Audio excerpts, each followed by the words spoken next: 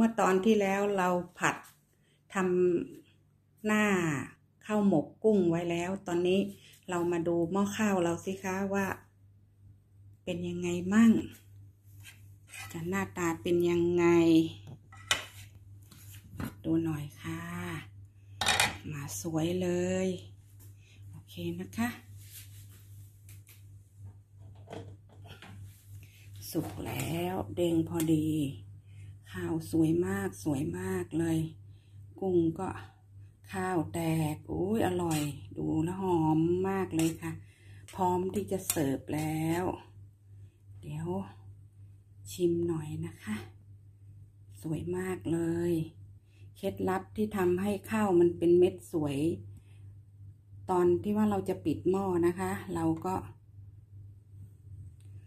ใส่น้ำส้มสายชูสัก หนึ่งช้อนชาค่ะ แล้วก็ปิดหม้อ ข้าวแข็งเท่าไหร่ ถ้าใส่น้ำส้มสายชูแล้วข้าวมันจะนิ่มแล้วมันจะพองขึ้นมาค่ะทำได้ โอเคนะคะ จะจะพร้อมเสิร์ฟเลย ชิมก่อน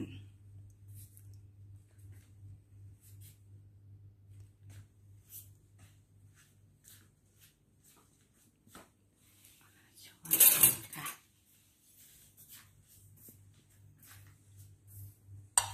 นี่เป็นไงมั่ง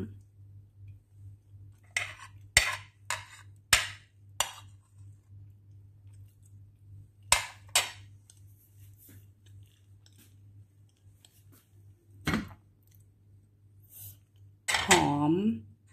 นุ่ม อร่อยค่ะ กุ้งก็เปื่อย ข้าวก็นุ่ม หอมกลิ่นสมุนไพร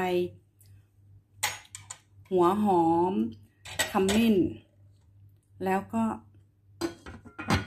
ผงแครี่ค่ะทำให้อร่อยอร่อย โอเคนะคะทำได้